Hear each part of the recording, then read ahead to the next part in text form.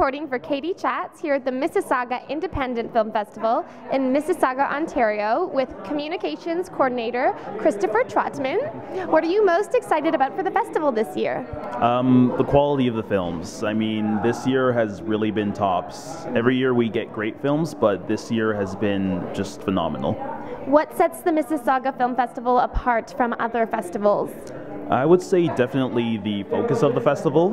Regardless of how old the festival gets, we always keep to our roots, to the grassroots, to the independent film, so that we can help to, to foster the Canadian film industry, which I think really sets us apart from a lot of the other bigger festivals.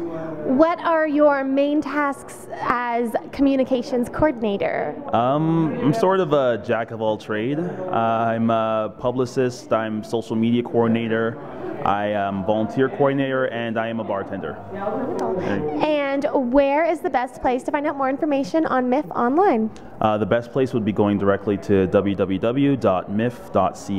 Great. Well, thank you so much, Christopher, and congratulations on a terrific festival, and best of luck with years to come. Thank you so much. I hope you enjoy yourself. Thank you.